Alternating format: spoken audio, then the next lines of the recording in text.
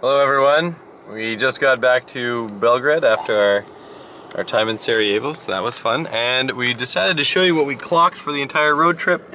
2,169.5 kilometers.